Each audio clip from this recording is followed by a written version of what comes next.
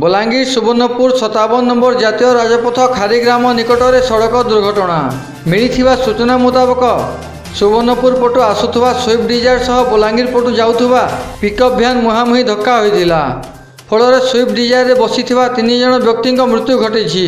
ସେମାନଙ୍କୁ ନିକଟସ୍ଥ ତରଭା ଡାକ୍ତରଖାନାକୁ ଅଣାଯାଇଥିଲା। ଡାକ୍ତର ତିନି ଜଣଙ୍କୁ ମୃତ୍ୟୁ ଘୋଷଣା କରିଥିବା ବେଳେ ଦୁଇ ଜଣଙ୍କ ଅବସ୍ଥା ଗୁରୁତର ରହିଥିବା ସୂଚନା ରହିଛି। ମୃତକମାନେ ପଶ୍ଚିମବଙ୍ଗ ପାଟକୁଡ଼ା ଅଞ୍ଚଳର ବୋଲି କୁହାଯାଉଛି। ଘଟଣା ପରେ ତରଭା ପୋଲିସ ପହଞ୍ଚି ଅଧିକ ତଦନ୍ତ ଚଳାଇଛି।